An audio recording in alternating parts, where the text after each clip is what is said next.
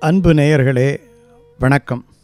நமக்கு சிலர் தருகின்ற மரியாதையை குறித்த ஒரு கம்பீரம் நமக்கு இருக்கும். பாரியா எப்படி ஒரு மரியாதை தருகிறார் அப்படின்ட்டு ஒரு பார்வையின் நம்மிடத்திலே இருக்கும். சில பேருக்கு வேறு விதமான ஒரு புலம்பல் இருக்கும். என்ன செஞ்சு என்ன பண்ணுறது வீட்டில் யாருமே மதிக்க மாட்டேங்கிறாங்க. வீட்டில் யாருமே மதிக்க மாட்டேங்கிறாங்க. பிள்ளைகள் மதிப்பது கிடையாது சொந்தக்காரம் மதி மதிப்பது கிடையாது மனைவி மதிப்பது கிடையாது அப்படிங்கிற ஒரு ஏக்கம். ஒரு ஏக்கம்ங்கிறத விட இந்த ஒரு விதமான புலம்பல். இது சமூகத்தில் பார்த்திங்கன்னா ரொம்ப பேருக்கு இருக்குது என்னங்க இவ்வளோ பண்ணுறோம் இவ்வளோ செய்கிறோம் வர்றோம்? ஒரு நல்ல பேச்சு கிடையாது ஒரு நல்ல அங்கீகாரம் கிடையாது ஒரு நல்ல ரெக்கக்னேஷன் கிடையாது ஒரு நல்ல வார்த்தை கிடையாது. என்னமோ போங்க நம்மளையெல்லாம் யார் மதிக்கிறாங்க? அப்படின்ட்டு பொதுவாகவே இந்த மதிப்பு வந்து சில பேர் வந்து மதிப்பு இல்லாட்டி சில பேரால் வாழவே முடியாது. யாராவது ஒருத்தவங்க அவங்களுக்கு மதிக்கலைன்னு தோணினாலே அதுவே ஒரு பெரும் கவலையாக வந்துடும் இவன் மதித்தான்னா மதிக்காட்டி என்ன நம்ம மதிப்பு நம்மக்கிட்ட தான் இருக்குங்கிற மாதிரியான ஒரு எண்ணம் பெரும்பாலும் யாருக்கும் வர்றது கிடையாது. பிறருடைய மரியாதையிலேயே நம்ம வந்து நம்முடைய வாழ்க்கையை நம்ம வாழ்வதிலே ஒரு சுகம் காண்கிறோம். அது கிடைக்காத பொழுது அது கிடைக்காது ரொம்ப பேர் கிடைக்காது. எப்படி கிடைக்கும்? மரியாதை என்ன விலை கொடுத்தா வாங்க முடியும்? அவன் வேணுன்னே வந்து மரியாதை கொடுக்கக்கூடிய தகுதி நமக்கு இருந்தால் கூட மரியாதை கொடுக்க மாட்டான். அல்லது மரியாதை கொடுத்தா அவருக்கு ரொம்ப மேலே ஏறிடுவாருங்கிறதுக்காகவே சில பேர் மரியாதை கொடுக்க மாட்டாங்க. வேணுன்னே நக்கல் பண்ணுறதுக்காக மரியாதை தர மாட்டாங்க. ஏதோ ஒரு பல பிரச்சனைன்னு வச்சுக்கோங்களேன். எப்போ நம்ம எதிர்பார்க்குறோமோ அப்போ கிடைக்காத போது நமக்கு அந்த அவலம் இருக்கத்தானே செய்யும். நம்மளை மதிக்காமல் போயிட்டான் நம்மளை கண்டுக்காமல் போயிட்டான் நம்மளை பார்க்காம போயிட்டான் நமக்கு இது எல்லா இடங்களையும் இருக்குது அதாவது மரியாதை எதுக்காக தர்றாங்கன்னுட்டு இருக்கணும். தைமூரன்ட்டு ஒரு மன்னன் அந்த மன்னன் வந்து கேட்டானா ஒரு புலவர்கிட்ட கேட்டான் என் மதிப்பு எப்படி எவ்வளோ இருக்கும் சொல்லு பார்ப்போம்னாரான் அவன் என்னமோ ஒரு லட்சம் வராகன்னு சொல்லுவான்னுட்டு. அவன் சொன்னான் என்ன ராஜா ஒரு ஐம்பது வராகன் இருக்கும்னுட்டு யோ நான் கட்டியிருக்கிற இடுப்பு துணியே ஐம்பது வராகன் இருக்கும்னு அவன் சொன்னான் நான் சொன்னதே அந்த இடுப்பு துணிக்காக தான்னாரான் என்ன அர்த்தம் என்ன சொன்னால் ஒரு மனுஷனுக்கு மதிப்பு கிடையாது. எப்படி மதிப்பு இருக்கும்? கோடீஸ்வரனாக இருந்தால் கூட செத்துட்டா ஒரு ஒரு மாதமாக வச்சுருப்பான். எவ்வளவு சீக்கிரம் எடுக்கணுமோ அவ்வளோ சீக்கிரம் எடுத்துருவானே. என்ன மதிப்பு மனிதர்களுக்கு இருக்குது? ஒன்று டிட்டாச்சு அட்டாச்சுன்ட்டு ரெண்டு விஷயங்கள் இருக்குது மனிதனோட கொடுக்கப்படுகின்ற பெரும்பாலான மதிப்பு எதனுடைய அடிப்படையிலே கொடுக்கப்படுகிறது என்பதை நாம் புரிந்து கொள்ள வேண்டும்.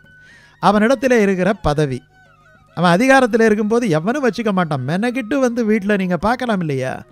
நீங்கள் திடீர்னுட்டு ஒரு கவுன்சிலராக போயிடுறீங்க இல்லாட்டி போனால் ஒரு எம்எல்ஏவாக போயிடுறீங்க இல்லாட்டி போனால் ஒரு உத்தியோகத்தில் ஒரு பதவிக்கு போயிடுறீங்க ஒரு போஸ்ட் கிடச்சிடுது ஒரு துறை தலைவர் அல்லது ஒரு சேர்மன் இந்த மாதிரி ஏதோ ஒரு பதவி கிடச்சிடுது. பாருங்கள் கண்டுக்காமல் போனோம் அவ்வளோ பேரும் நம்ம வீட்டு வாசலில் நிற்பான் ஒன்றாந்தேதி ஆஃபீஸரை பார்க்க நிற்கிறானே எதுக்காக அந்த ஆஃபீஸர் மேலே இருக்கிற அன்புனாலேயே நிற்கிறான் அவர்கிட்ட இருக்கிற பதவி. ஆனால் அந்த ஆஃபீஸர் என்ன நினைக்கிறார்? இது தனக்கு வர்ற ஒரு பெரிய ரெஸ்பெக்ட்னு நினச்சிக்கிட்டு இருக்கிறார். அது ஏதோ ஒரு நேரத்தில் புட்டுக்கிட்டு போகும்போது அவருக்கு கஷ்டமாக போயிடுது நம்பர் ஒன்று ரெண்டாவது பணம். போனவன்னா இதை பத்தஞ்சு கொடுப்பானேங்கிறதுக்காக. நிதியை பொழியும் முகிலென்று நீசர்தம் வாசல் பற்றி துதிகற்று உலகில் துவழ்கிறேன் அப்படின்ட்டு திருவரங்கத்தமதானார் இவங்களை பற்றி தான் பாடினார். போய் அஞ்சுக்கும் பத்துக்கும் போய் நிற்க வேண்டியிருக்கேன்னுட்டு. மூன்றாவதாக ஒரு அதிகாரம் பலம் ஏதோ இருக்கும் அவன் அடிச்சுட்டா என்ன பண்ணுறது அப்படிங்கிறதுக்காக. இதெல்லாம் பிரிக்கக்கூடியது. ஏன்னா ஒரு காலத்தில் பயில்வானாக இருந்தவன் பின்னாடி ஏதோ ஒரு நோயப்பட்டு சோர்ந்து போட்டான்னா ஒருத்தன் கூட திரும்பி பார்க்க மாட்டான். நம்முடைய டாக்டர் மூவா ஒரு கதை ஒன்று அழகான கதை எழுதினார். அவர் ரொம்ப வசதியாக ஒரு ஆஃபீஸர் இருக்கும்பொழுது அவர்கிட்ட இருக்கிற வேலைக்காரன் வந்து அவருக்கு நிறையா விதவிதமான சமையலை பண்ணி போட்டான். ரொம்ப செலவு. உடனே இவர் ரிட்டையர் ஆகிட்டார் ரிட்டையர் ஆனவுடனே உடனே கூப்பிட்டார். கூப்பிட்டு வேலைக்காரங்கிட்ட கூப்பிட்டார். இதை பாரு நேற்று வரைக்கும் நான் பணியில் இருந்தேன் எனக்கு சம்பளம் வந்தது நல்லா சமையலாக பண்ணி போட்டேன். ஆனால் வந்து இப்போது எனக்கு ரிட்டையர் ஆகிட்டேன் இப்போ சம்பளமெல்லாம் வராது. அதனால் நீ ரொம்ப பார்த்து சீக்கிரமாக செய்யணும்ப்பா நீ வந்து எனக்கு ஒரு கூட்டு ஒரு பொரியல். ஒரு கூட்டு பொரியல். இதை மட்டும் எனக்கு பண்ணு. ரொம்ப அப்பளம் அது இது இன்னும் ஒரு காய் இதெல்லாம் வச்சு செய்யாது. சீக்கிரமாக செய்யினார் அடுத்த நாள் சாப்பாடு வந்தவுடனே அதே மாதிரியே அவன் செஞ்சுட்டான். நான் ஒரு சின்ன கூட்டு ஒரு பொரியல். அவன் இவர் என்ன இன்ஸ்ட்ரக்ஷன் கொடுத்தாரோ அதை மாதிரி செஞ்சுட்டான். ஒரு சாதாரண தட்டில் கொஞ்சோண்டு சாப்பாடு போட்டு ஏதோ ஒரே ஒரு காய் மட்டும் வச்சு இவர் சாப்பிட்டுட்டு பரவாயில்ல சொல்கிறத ஃபாலோ பண்ணுறான் என்னட்டு. இவர் சாப்பாட்டை போட்டு முடிச்சுட்டு திரும்ப வரும்போது பார்த்தீங்கன்னா இவன் ஒரு தலைவாழை இலை போட்டுக்கிட்டு ஒரு ஆறு ஏழு காய்கறியோடு வச்சுக்கிட்டு சாப்பிட்டுக்கிட்டு இருக்கிறான் டே என்னடாப்பா இந்த மாதிரி பண்ணுறியே நான் தான் உனக்கு சொன்னேனே நான் ரிட்டையர் ஆகிட்டேன் எனக்கு வந்து ஒரு காய் இருந்தால் போகிறோம் சாதாரணமாக சாப்பாடு இருந்தால் போகிறோம் அதை தானே எஜமா உங்களுக்கு கொடுத்தேன் அவன்.